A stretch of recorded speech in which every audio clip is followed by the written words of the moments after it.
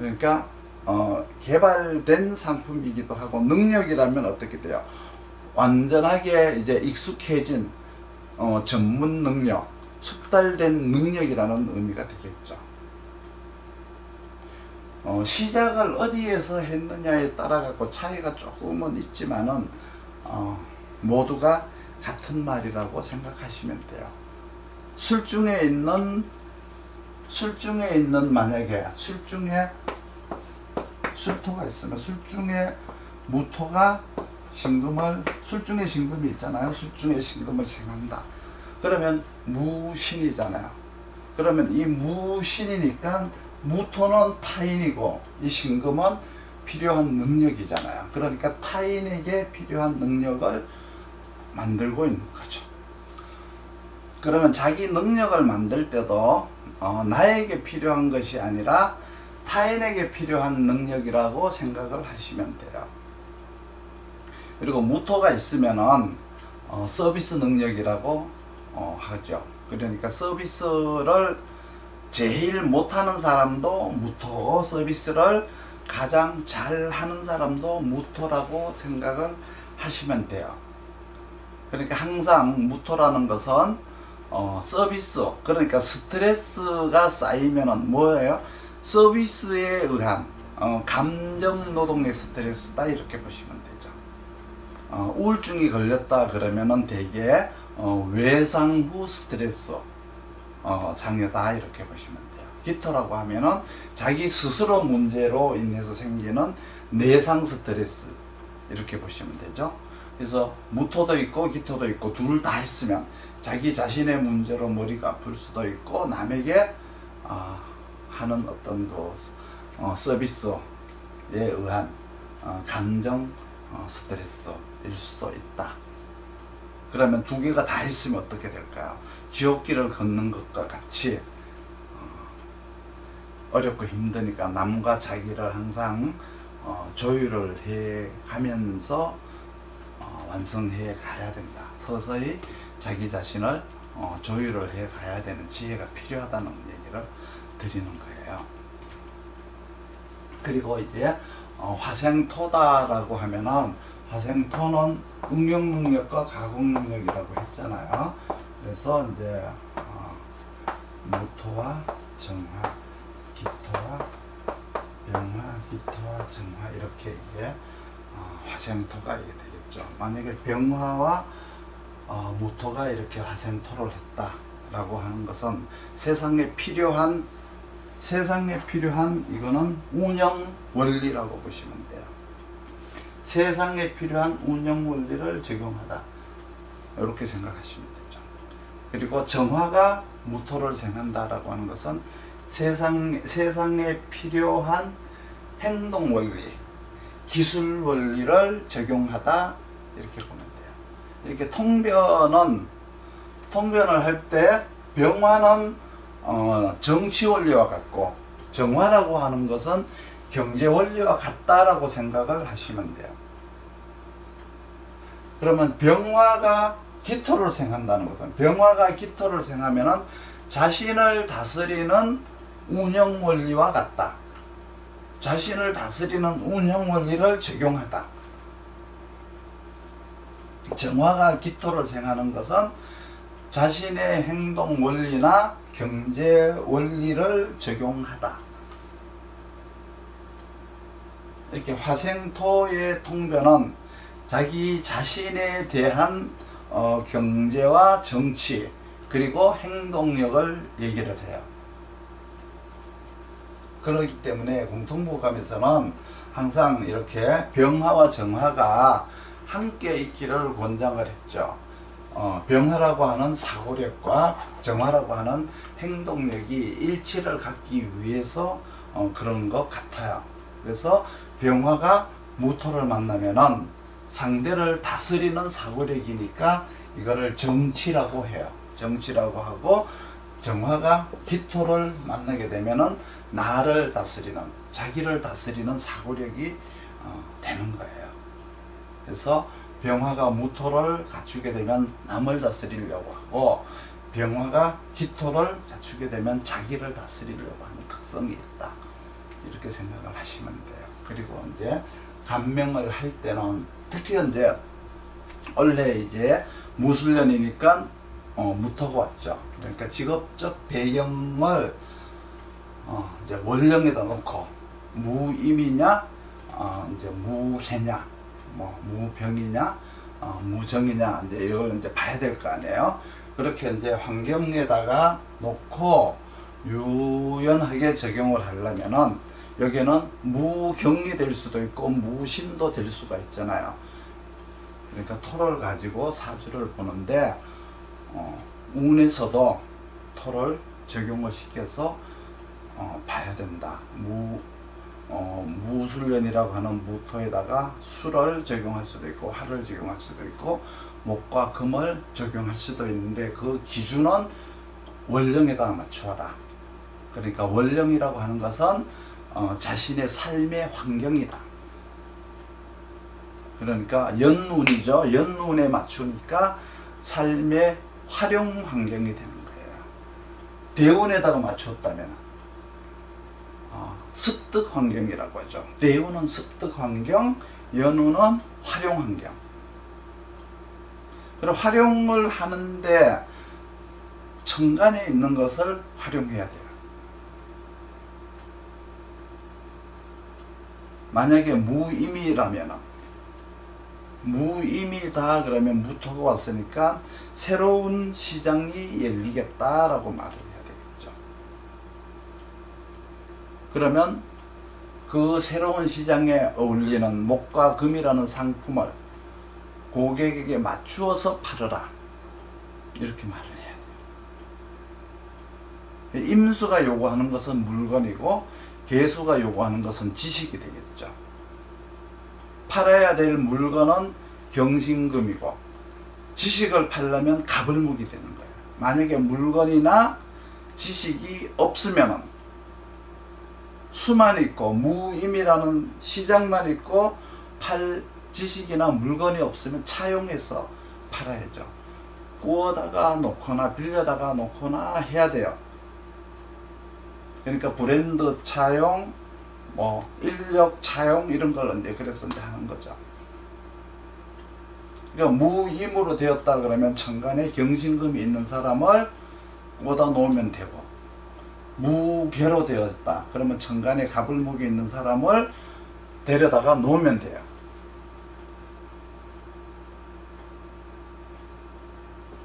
이렇게 무토를 기준으로 해서 어, 임수를 봤다. 그러면 환경에서 필요로 하는 판매나 경영, 통상 논리를 적용해서 어, 통변을 하면 되고요.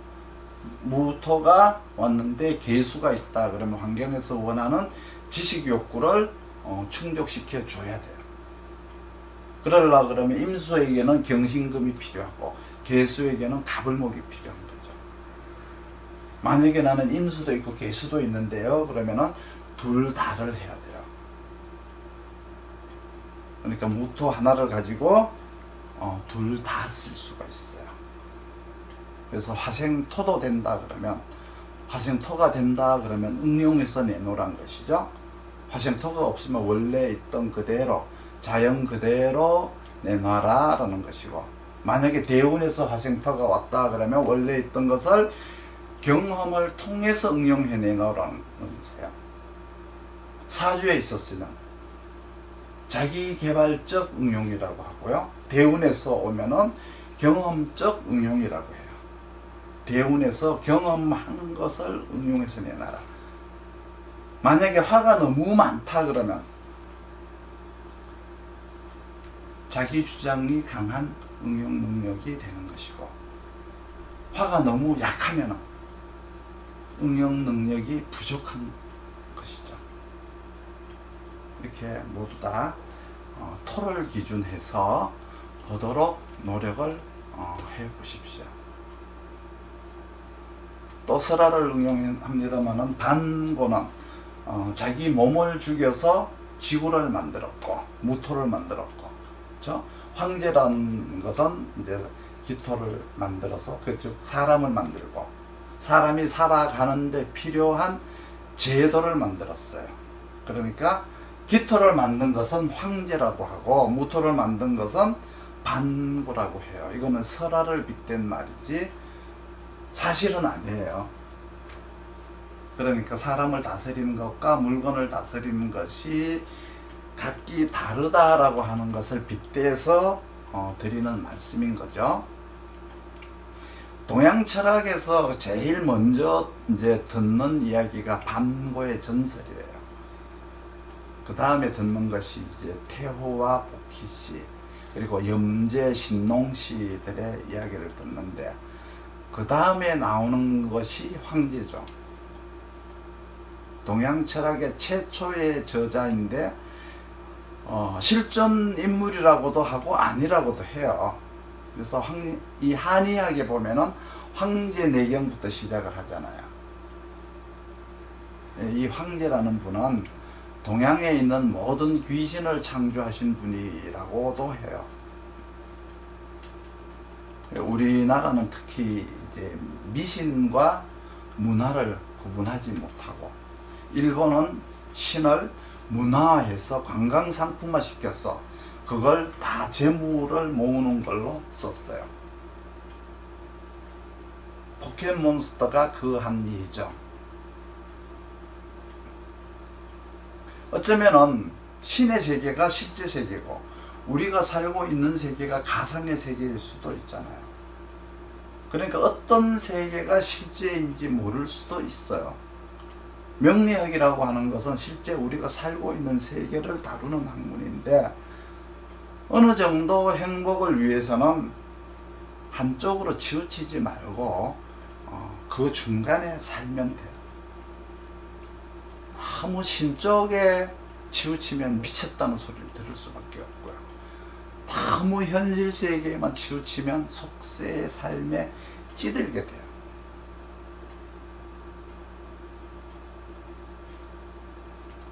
어쨌든 우리는 동양 철학에서도 그렇고 서양 철학에서도 어, 과학적으로 해결이 되지 않는 것들은 종종 설화를 어, 가져다가 응용을 하죠. 이렇게 기토가 잘못되면 몸이 잘못되는 거예요. 그러면 어, 내 사주에 기토가 없으면 몸이 잘못될 리가 없으니까 병원에 가서 그냥 고치면 돼요. 기토가 있는 사람은 아프면 고치지를 못해요. 기토는 자기 몸이에요. 그러니까 자연 환경에서 기토를 치유해 주지 않는다는 거죠. 기토는 자기 몸을 말하니까 자기 몸은 자기가 고쳐야 돼요. 자연에서 저절로 낫게 하지 않아요. 이사를 가는 것도 기토가 있는 사람은 자기가 이사를 가는 것이고 무토가 있는 사람은 집이 이사를 가는 거죠. 이사를 가도 의미가 달라요. 내가 가느냐 집이 가느냐. 둘 다 있으면 둘 다 가죠. 그러면 개갑이라는 게 있으면 개갑을 수생목이라는 개갑이 있으면 여기에다가 기토를 넣든지 무토를 넣든지 넣어야 돼요. 안 넣고는 볼 수가 없어요. 을병이라고 하는 것도 그렇죠. 을병에서도 기토를 넣든지 무토를 넣든지 넣고 봐야 돼요. 무기토를 넣지 않고 보는 것은 조작과 같다. 원형 그대로가 아닌 것을 활용하는 것과 같아요. 그래서 어, 여기다가 토국수를 넣고 봐라. 그리고 화생토를 넣고 봐라. 개갑이라고 하는 수생목은 토국수가 빠지면 안 되고 을병이라고 하는 이 목생화는 화생토가 빠지면 안 되는 거예요. 그래서 반드시 토가 들어가야 돼요. 그래서 상생상극이라고 하는 것은 반드시 토부터 시작을 해라. 이 말은 땅에서부터 시작을 한다는 의미세요. 토국수부터 시작해서 수생목, 토국수, 어, 금생수가 이루어진다. 이렇게 생각을 하셔야 돼요. 화생토 하니까 화생토 하면은 목생화하고 화생토 하니까 토생금을 할 수 있는 거죠. 근데 화생토는 항상 응용이다 생각하셔야 돼요. 사회 발전에 대한 응용. 토국수는 원래 그대로, 자연 그대로, 화생토는 응용, 조작, 응용. 그러면 남편을 만나면 토국수 형이 좋은가, 화생토 형이 좋은가? 한번 생각해 한번 해보시겠어요? 화생토형을 만나면 응용형이니까 교육적이고 개방적이죠.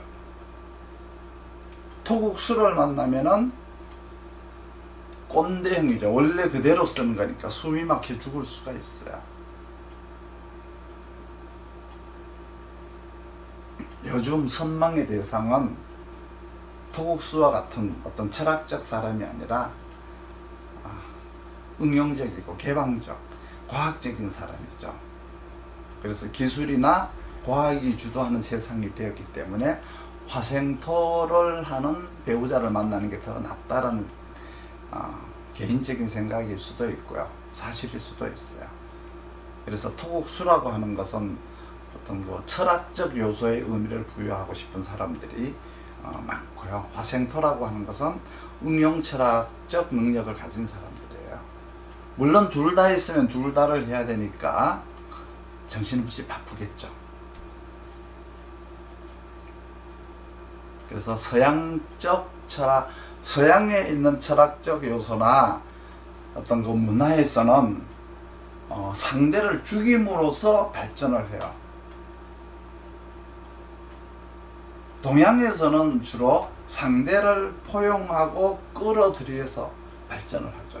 상대를 내 편으로 만들어서 발전을 해요.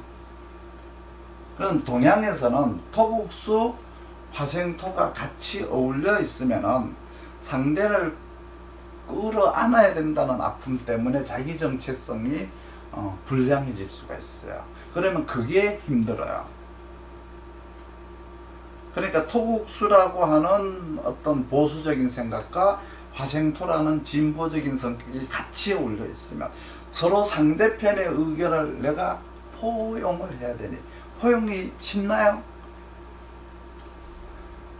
요즘 굉장히 시끄럽잖아요. 꼴통 보수, 빨갱이, 진보, 막 이게 서로 상대를 끌어안지 못해서 오는 갈등, 사회적 갈등이 얼마나 심합니까? 서양에서는 토국수, 화생토가 같이 있으면 상대를 물리치고 혼자 있어야 된다는 생각 때문에 불편할 수가 있어요. 정말 역설적이죠. 이렇게 토국수와 화생토가 같이 존재하는 사람들은 정체성을 찾기가 좀 힘들어요. 이건 어떨 때 보면은 토국수 같고 어떨 때 보면은 화생토 같으니까 그때 그때마다 느낌이 다르죠. 이런 것들이 이제 밑바닥을 통째로 감싸고 있는 기운이에요.